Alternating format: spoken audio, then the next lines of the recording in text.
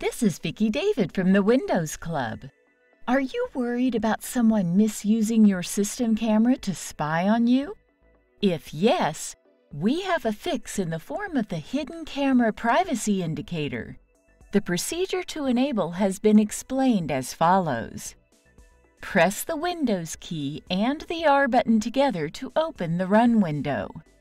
In the Run window, type the command R-E-G-E-D-I-T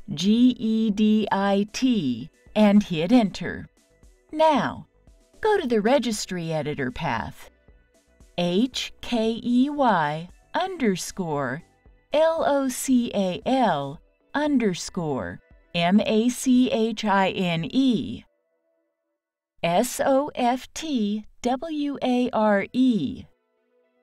Microsoft OEM Device Capture In the right pane, right-click in the open space.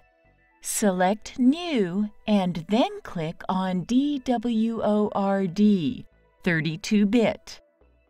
Name this newly created DWORD 32-bit entry no physical camera LED.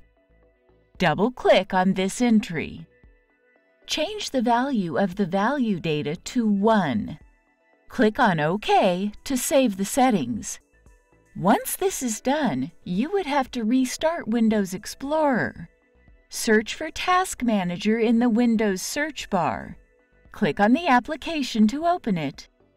Find the process named Explorer or File Explorer, right-click on this process and select End Task.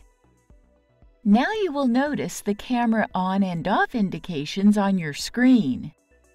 Isn't this easy and interesting? If you have any doubts, please go to the original article on the Windows Club and write your query.